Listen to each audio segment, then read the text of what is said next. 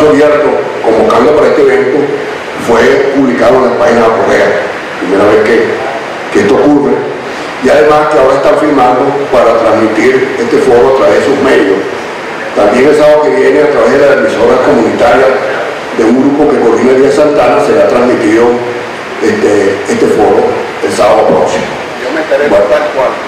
Ah, sí, en tal cual, por supuesto, sacamos aviso y sacó una nota de prensa, dada la relación que la Fundación sostiene de amistad con tal cual. Bueno, luego eh, quería decir que como siempre entre nosotros habitual, eh, habrá una primera tanda al final del oponente de preguntas por escrito. Quienes desean hacerla, eh, en el margen izquierdo están las papeletas para hacer las preguntas que se formulen por escrito. Si nos da tiempo, luego de cumplir todas las sesiones de preguntas por escrito, daremos brevísimo derecho de palabra, pero depende de cómo se desarrolle el foro. Bueno, dicho estas cosas, pues tiene la palabra el profesor Marcelino Pizarro. Eh, agradecer a Espacio Abierto por esta invitación a conversar de las cosas que a uno le interesan, le importan, con las que hemos venido trabajando durante muchísimo tiempo. Igualmente, pues agradecer el poder compartir con, con Mister, a quien no conocía, conocimos hoy, a Gonzalo, a quien no conocía, conocimos hoy, pero a ambos primera Esther la hemos escuchado, a Gonzalo lo hemos leído, algunas cosas compartimos, otras no las compartimos, pero de eso se trata la democracia, la posibilidad de que podamos convivir socialmente y eso es la comunicación, aunque pensemos totalmente distinto. Eh, no voy a hacer grandes conceptualizaciones sobre lo que entendemos por libertad de expresión, pero de arrancada digamos que la libertad de expresión es fundamental, es connatural a un sistema democrático. A partir de ahí diría que en Venezuela, en la Venezuela del presente, estamos en presencia de un gobierno autoritario, de un gobierno profundamente militarista, de un gobierno presidencialista, no nos hemos logrado quitar todavía la idea de un gobierno presidencialista, de un gobierno profundamente estatista e interventor. Entonces, si estamos en presencia en la Venezuela de hoy de un gobierno con esas características y que en gran medida hereda lo que dejó el gobierno de los 15 años del fallecido presidente, entonces la pregunta es cómo se ha venido desarrollando cómo se ha venido desenvolviendo el tema de la libertad de expresión o, para ser mucho más precisos, el tema de la libertad de comunicar. En ese sentido, quisiera tocar tres puntos o tres aspectos. En primer lugar, eh, la idea de cómo en Venezuela se ha venido concibiendo el tema de la información en cuanto poder, en cuanto poder estratégico, cómo eso se ha venido configurando en los gobiernos democráticos. En segundo lugar, en segundo lugar, cómo se ha conformado en Venezuela lo que yo he denominado en otras oportunidades el Estado comunicador y a partir del Estado comunicador hacia la construcción de lo que eh, Andrés Lizarra en su momento, siendo ministro de Comunicación e Información, denominó hacia la hegemonía comunicacional o hacia la hegemonía en todas las esferas de la vida pública en sociedad. Y en tercer lugar, lo que ha sido el comportamiento o el manejo del gobierno del señor Nicolás Maduro, ya casi 17 meses en la presidencia de la República, en relación al tema de los profesionales de la comunicación y en relación al tema de los medios de comunicación social. Vayamos con el primer punto. Venezuela, en todo su periodo democrático, hemos tenido dos gobiernos que le han dado suma importancia al tema de la comunicación. Primer gobierno del año 1974 al año 1979, que fue el gobierno de la primera presidencia del presidente fallecido Carlos Andrés Pérez. Un gobierno que además eh, en su manera de comportarse, ¿verdad? por lo menos públicamente, en su manera de manejar la opinión pública, tiene rasgos o tuvo rasgos muy parecidos eh, muy parecidos a lo que fueron a lo que fue el gobierno del presidente Hugo Chávez Frías, al menos en el manejo de la comunicación. Recordemos rápidamente que en aquel gobierno los primeros grandes planteamientos que se hacen sobre el tema eh, fueron formulados en ese gobierno. Lamentablemente, por presiones del sector privado comercial de grandes medios de comunicación del país, todos esos planteamientos quedaron engavetados en lo que fue el Congreso de la República. Recordemos rápidamente, a manera de ilustración, lo que fue la formulación del quinto plan de la Nación. Primera vez en la historia de los planes de la Nación se contemplaba el tema de la comunicación y el tema de la cultura como sectores a los cuales había que planificar estratégicamente para la vida y el desarrollo del país. Eh, por primera vez se comienza a hablar de políticas nacionales de comunicación con sus consiguientes políticas de cultura, lo que hoy denominamos ¿verdad? mucho más acorde con los tiempos que nos están viviendo las políticas públicas. En aquel gobierno este, en América Latina fue un gobierno avanzado, por lo menos en, los pronunciamientos y en la formulación de documentos del de, eh, nuevo orden mundial de la información y la comunicación que tenía su correlativo con el llamado nuevo orden económico internacional. Y lo más importante, pero lo más importante de aquel gobierno fue la formulación eminentemente teórica, porque quedó en el papel, quedó en el, en el libro, ¿verdad? Lo que fue la formulación del llamado proyecto Ratel. Es decir, por primera vez en la historia de las comunicaciones en América Latina, un gobierno, un gobierno, en este caso un gobierno socialdemócrata, uno pudiera estar o no de acuerdo con alguna de las formulaciones que se hicieron y acciones políticas que se hicieron en aquel momento, pero tenemos que reconocer que el proyecto Ratel constituía una idea muy avanzada de cómo había que eh, planificar la radio y a la televisión venezolana en pro de la formulación de políticas públicas. Ya en el proyecto Ratel, que lo coordinó el profesor Antonio Pascuali, eh, se planteaba la convivencia, la convivencia plural, la convivencia democrática de tres grandes sectores del mundo de las comunicaciones. Un sector privado comercial, este, dependiendo del ámbito de la publicidad para su sostenimiento, lo cual no es ningún pecado en, aquel tiempo, ni lo sigue siendo en los tiempos del presente. Este, en segundo lugar, la posibilidad de contar con un servicio de radio y televisión de medios estatales, no medios gubernamentalizados, medios de servicio público que convivieran en igualdad de condiciones con el sector privado comercial de medios. Y en aquel momento ya se comenzaba a hablar de la idea de un tercer sector de las comunicaciones, que sería el sector de los medios comunitarios, pertenecientes no a ninguna facción política en el poder, pertenecientes no a ningún grupo político, sino pertenecientes verdaderamente a la comunidad organizada, a eso que mal denominamos hoy día la sociedad civil. Un tercer sector, insisto, de medios comunitarios, hipo alternativo, hipo popular. Lamentablemente, repito, este, estos proyectos quedaron en el papel, quedaron engavetados en el viejo Congreso de la República, fundamentalmente por presiones del sector privado comercial de medios, quienes crearon la matriz ante el clima de opinión pública de aquel momento de que el gobierno lo que quería era estatizar al mundo de los grandes medios de comunicación social, cosa totalmente equivocada. En segundo lugar, en segundo lugar digamos que el otro gobierno que le da muchísima importancia al tema de los medios de comunicación o al mundo de las comunicaciones es el gobierno del presidente Hugo Chávez Frías. Pero le comienza a dar importancia en términos de que el manejo de mucha y de buena información es un poder, en términos de que la comunicación es un sector estratégico de la vida política, social y cultural del país a partir de los sucesos de abril del año 2002, lo que fue el golpe de Estado de aquel momento y lo que fue el paro nacional de diciembre, enero y parte de febrero del año 2013, diciembre de 2012, enero, febrero del 2013, donde los medios de comunicación social, los medios del sector privado comercial jugaron un rol muy importante. Creo que un rol equivocado, creo que un rol al que no les pertenecía, es decir, el rol de comportarse como actores políticos, actores políticos además muy privilegiados en el conjunto de los actores sociales. Este sería un a discutir, si un medio de comunicación privado puede ser actor político o puede ser un medio eminentemente aséptico, pero bueno, no entremos en esa discusión. Lo que sí fue evidente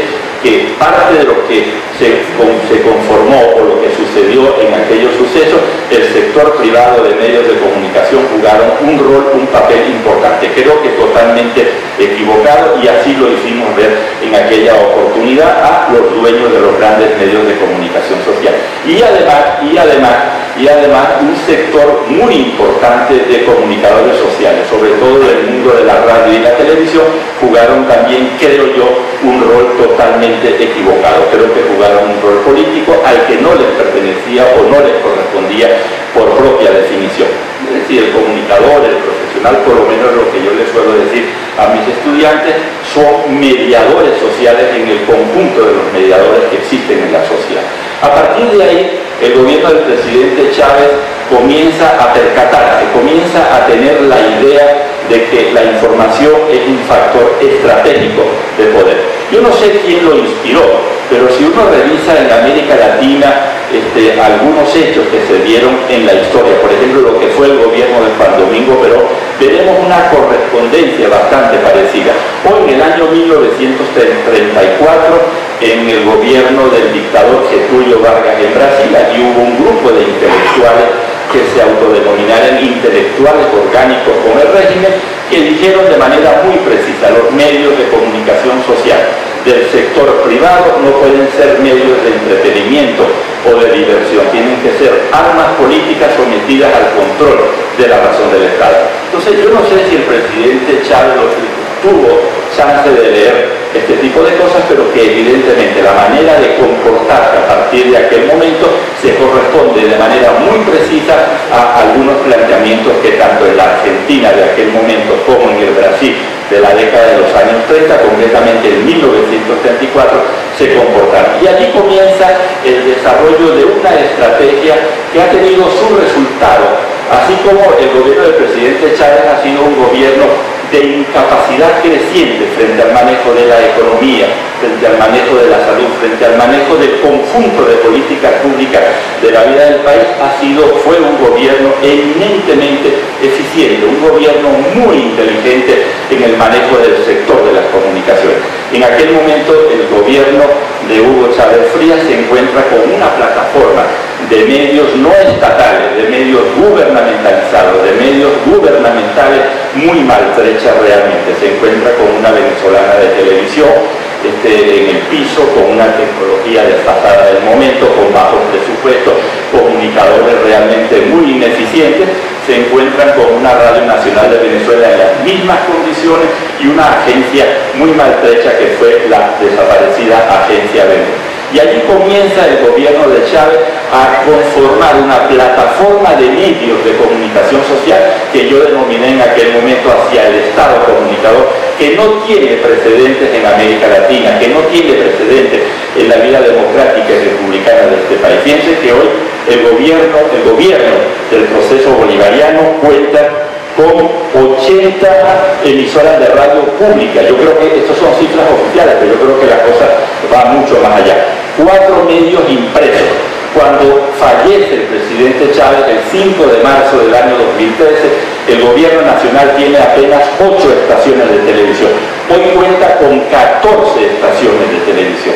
Y luego está el conjunto del tercer sector de medios de comunicación social coaptados a mi manera de ver por encima de la media, al menos los análisis de contenido que nosotros hemos podido hacer por este proceso político. Es decir, para el sector oficial se habla de 25 televisoras comunitarias, yo manejo la cifra de 70 y tantas, se habla de, vamos a ver, se habla de 215 radios comunitarias, yo creo que es muchísimo mayor, las cifras que manejo están en el orden de las 630, 640, inclusive el Ministerio de Comunicación e Información, que es un ministerio eminentemente ideologizado, propagandístico de la imagen del proceso del sector gubernamental que debería tener otras características, que debería tener otras, otras funciones, se da el lujo de contar con una dirección general sectorial de medios comunitarios y medios alternativos. Las funciones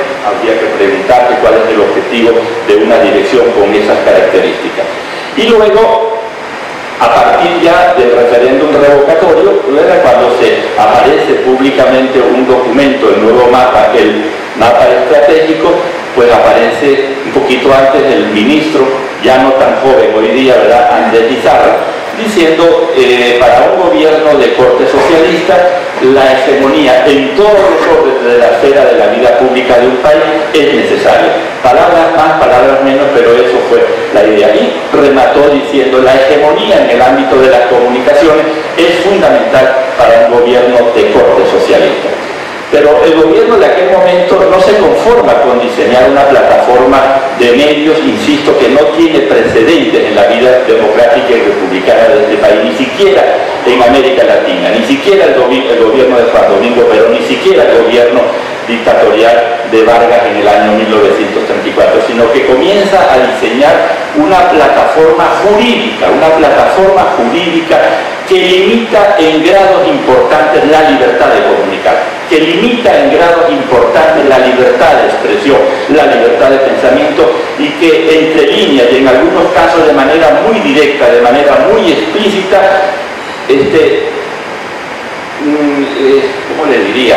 Este, no le gusta la disidencia o no le gusta el pluralismo. Comienza primero con la ley de responsabilidad social en radio y televisión, que en el año 2010, ¿verdad? cuando la Asamblea Nacional es toda de corte oficialista, la modifica e incluye ley de responsabilidad social, radio, televisión y medios electrónicos. No se atrevieron a ponerle internet, sino medios electrónicos. Léanse el artículo 27, léanse el artículo 28, léanse el artículo 29 de, de esa ley y nos daremos cuenta cómo la libertad de expresión y la libertad de comunicar queda profundamente erosionada, no solamente para el sector privado de medios de comunicación social, sino también para el sector de medios comunitarios en radio y televisión.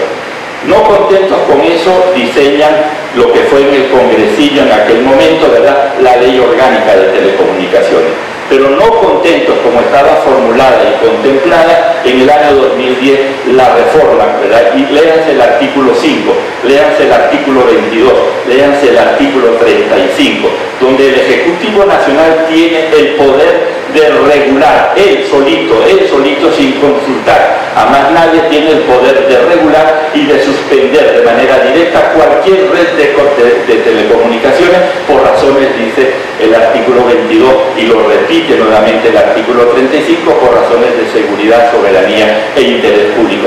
Entonces la pregunta es, desde qué criterio se maneja la seguridad, la soberanía de la nación o el interés público? Fíjense que en aquel momento, en el año 2010, en apenas 17 días se promulgaron 22 leyes, de las cuales tres muy importantes. La ley de responsabilidad social, la ley orgánica de telecomunicaciones y antes habían reformulado eh, o reformado el Código Penal, donde en el Código Penal cualquier funcionario público que se sienta difamado o vilipendiado puede someter ¿verdad? a un medio de comunicación a un, o a un profesional de la comunicación.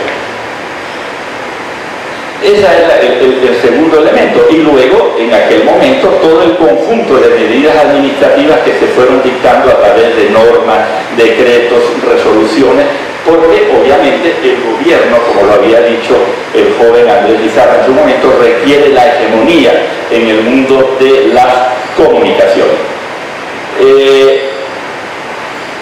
Llegamos así, llegamos así a el gobierno del presidente Nicolás Maduro. Yo diría, yo diría que el gobierno del presidente Maduro ha sido inteligente, así como no lo ha sido en el manejo de la cosa pública en otros sectores de la vida del país, ha sido un gobierno inteligente, ha sido un gobierno eficiente, porque manejó o sigue manejando el sector de las comunicaciones ya no estableciendo mecanismos de censura o generando eh, corte eh, eh, en, el tema de la libertad de expresión de manera directa, donde el gobierno en función de Estado aparezca involucrado o aparezca de manera directa, sino que lo ha, hecho, lo ha hecho por segunda vía o por, lo que yo llamaría por manpuesto. Recordemos en primer lugar una importantísima reunión a los primer, primer mes creo primer mes del gobierno del señor Maduro, donde llama a todos los dueños o, presidentes de las más importantes televisoras de, este país. No se sabe qué pasó allí en Miraflores, pero algunos trabajos que hemos hecho de análisis de contenido, sobre todo en el mundo de los noticieros de estos canales de televisión privada comercial, observamos, observamos que hay un cambio de línea política, que hay un cambio de línea informativa e editorial. ¿Qué pasó en Miraflores? ¿Qué se dijo en Miraflores? Vaya usted a saber. Pero no contento con eso, empieza a haber un cambio en la estructura comunicativa de este país. ¿Qué duda cabe que hasta 1999 estábamos en presencia de una estructura comunicativa que nos era conocida, que nos era conocida, pues podían convivir estos sectores, pero empiezan a aparecer cambios en esta estructura comunicativa donde el gobierno no aparece de manera directa, no aparece de manera visible. Primero, el caso de Globovisión. No crean que yo defiendo a Globovisión, yo creo que Globovisión fue un canal eminente militante del mundo opositor. Pero, pero, pero más allá de las críticas que yo pueda hacer como profesional de la comunicación o como periodista, esa es una opción, es la opción que escogieron los dueños de Globovisión en aquel momento y eso es posible y solamente es posible en una sociedad y en un Estado democrático. Creo que fue una opción equivocada, creo que asumieron una televisión eminente militante, pero obviamente fue la opción que ellos tuvieron. Pero de, de golpe y porrazo Globovisión aparece con otra estructura eh, de, dueño, ¿verdad? Eh, donde al día de hoy, pues uno hurgando por aquí y por allá descubre o cree que estos son los dueños, pero ¿De dónde sale están por detrás de ellos? Porque cuando me voy a la ley del sistema financiero de este país, gente que esté ligada al mundo bancario, pues evidentemente le está negada la posibilidad de comprar o de tener un medio de comunicación, pero allí se colaron algunos nombres que sí están ligados al mundo financiero y bancario del país. Pero eso fue con Globovisión. Hagamos un análisis rápidamente de contenido. Si en un primer momento Globovisión era un canal eminentemente eh, militante del sector opositor de la vida política de este país, hagamos un análisis de contenido de cómo se está comportando hoy día eh, Globovisión. A partir de lo que ellos llaman el o el equilibrio informativo, que a veces no es ni tal objetivismo ni tal equilibrio cuando empezamos a medir las noticias o las maneras como se leen o cómo se redactan las noticias y cómo se le expresan ante, ante el público. Eso fue Globovisión. Pero de la noche a la mañana todos quedamos estupefactos, ¿verdad? Con lo que pasaba en la cadena Capriles, la vieja cadena Capriles, y el comportamiento de algunos periodistas prominentes de la cadena eh, Capriles, y de la noche a la mañana los más importantes periodistas de la cadena Capriles empezaron a ser censurados o por lo menos eh, algunos de ellos, como lo expresaron en un momento dado, concretamente el jueves pasado, él me decía públicamente, yo en algún momento me autocensuré por miedo a... Entonces la cadena Capriles cambió realmente este, eh, totalmente. Hagan un análisis de las primeras páginas de últimas noticias, periódico que antes de la venta no era de, mi total agrado, pero entre aquella primera página y aquella agenda noticiosa de, últimas noticias al día de hoy, realmente la cosa queda demasiado visible, demasiado transparente por dónde se inclina este, políticamente este medio de comunicación. Por supuesto, en un sistema democrático eso es perfectamente posible, si es que aceptamos que eso tiene que ser así. Hoy día se habla desde hace ya un buen tiempo y hay negociaciones de la venta de televisión, se habla de 240, 250 millones de dólares, gente muy ligada al alto gobierno. Y luego última compra del diario El Universal y también los cambios que se han dado al interior del diario El Universal. Y finalmente, finalmente todo el tema del papel, donde aquí hay un doliente, ¿verdad? Que es Javier, mi, amigo Javier, es decir, en la manera como se ha manejado el tema de las divisas, el tema de las divisas para la compra no solo de papel, no solo de papel, sino también de la necesaria maquinaria e insumos para el manejo de los medios impresos y de las redes de telecomunicaciones. Veamos cómo se comporta Televisión, ¿verdad? veamos cómo se comporta Televé, este, por miedo a que no se le otorgue en un momento dado las divisas requeridas o necesarias para la compra de estos insumos. Y entonces vemos que, que, que, que como lo que ha venido pasando con los diarios impresos, aproximadamente 14 periódicos en el interior del país han tenido que cerrar sus puertas por la falta de papel y lo que han logrado resistir pues tenemos tal cual o tenemos el diario El Nacional. Eso es eso es el tema, a mi manera de ver, de cómo se ha venido manejando la libertad de comunicar en la vida del país. Este, alguien me preguntaba, profe, ¿usted cree que esto va a seguir? Si permitimos que siga así.